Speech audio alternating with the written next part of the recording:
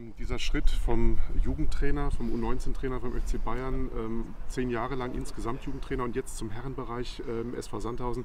Sie wissen, was Sie sich antun? Ja, natürlich. Also es sind Dinge, die ich mir überlege, die ich mir in meinem Karriereplan auch, auch, auch zurechtlege. Und mir ist einfach wichtig, dass man das äh, geduldig aufbaut, dass man wirklich Schritt für Schritt seine Erfahrungen sammelt. Und für mich ist es der logische nächste Schritt und ich freue mich auf die Aufgabe. Ähm, was nehmen Sie sich mit der Mannschaft hier in der dritten Liga vor? Sie haben 14 Spieler im Moment unter Vertrag, haben wir vorhin gehört.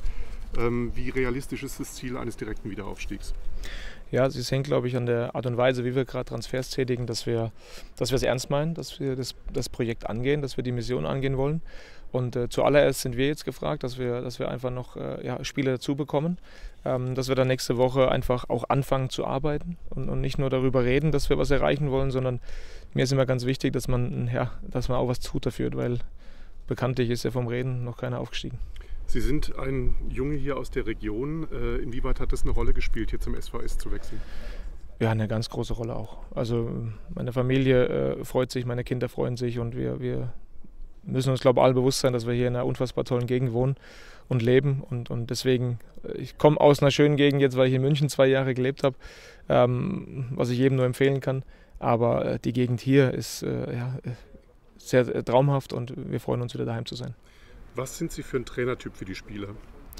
Ähm, ich bin sehr kommunikativ. Ich versuche, meine Spieler mitzunehmen. Ich versuche, ähm, ja, einfach durch mein Auftreten den Spielern das Gefühl zu geben, dass sie, dass sie ein Teil von diesem Projekt sind, dass sie ein Teil von dieser, von dieser, von dieser Arbeit sind. Und natürlich äh, hat man eine Idee als, als Trainer und äh, dieser Offensivfußball, den ich die letzten Jahre einfach äh, versucht habe mitzuprägen, ist ein Teil davon.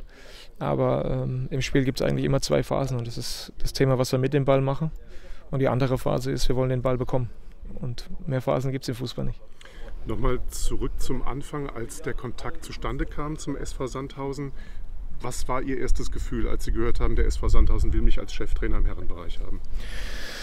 Ja, es ist so, dass die letzten Jahre immer mal wieder eine lose Anfrage kam, ähm, wo ich einfach auch sage, da, da, was ich gerade schon gesagt habe, man muss selbst dafür bereit sein und muss selbst auch mit sich klar sein, dass das der nächste Schritt ist ähm, und die Erfahrung, die man sammelt. Und ich glaube, da, da, kann jeder von, von Ihnen einfach die Bestätigung zurückgeben, dass Erfahr Erfahrung nicht nur im Trainerbereich, sondern auch äh, bei Ihnen in Ihrem Job einfach eines der wichtigsten Dinge sind. Und, und ich habe mir rausgenommen, diese Erfahrung zu sammeln und wenn ich dann für mich diese Klarheit habe, dass ich bereit bin für so einen Schritt, dann führe ich Gespräche und dann mache ich mir wirklich auch Gedanken drüber. Und genauso war das der Fall. Es hat gepasst zum richtigen Zeitpunkt. Ähm, und ja, jetzt stehe ich hier und, und freue mich einfach, das ganze, die ganze Mission mit anzugehen. Sie haben gesagt, beim FC Bayern haben Sie viele tolle Menschen kennengelernt, auch Erfahrungen gesammelt. Wer vom FC Bayern, von der Führungsträger, auch von ehemaligen Trainern wie Julian Nagelsmann zum Beispiel, hat Ihnen denn schon gratuliert und wie?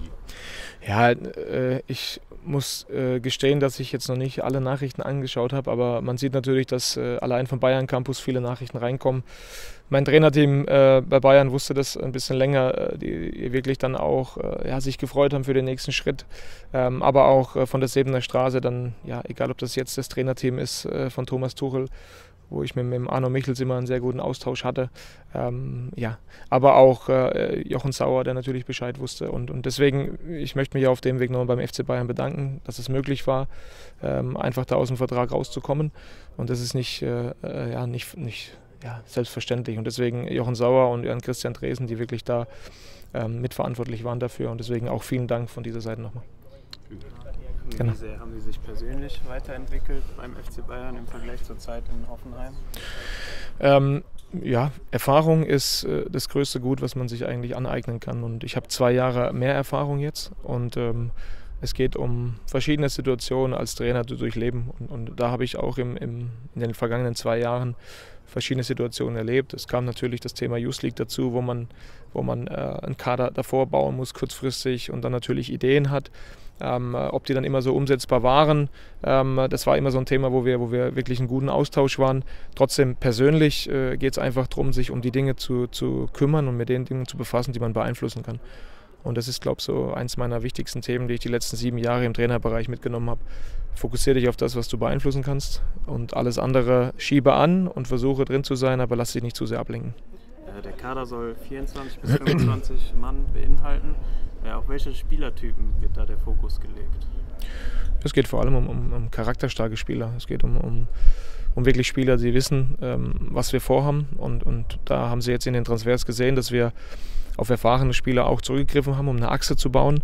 Aber es geht natürlich auch darum, junge, erfahrene Spieler zu, oder junge, dynamische Spieler zuzuholen, die auch schon Herrenerfahrung haben im Herrenbereich. Max Geschwil ist ein, ein gutes Beispiel dafür, der eine tolle Entwicklung in Hoffenheim genommen ist und, und jetzt wirklich auch letztes Jahr Kapitän der U23 war und jetzt aber den nächsten Schritt gehen will. Und deswegen, wir achten sehr auf den Charakter der Mannschaft, wir achten sehr auf den Charakter des Spielers.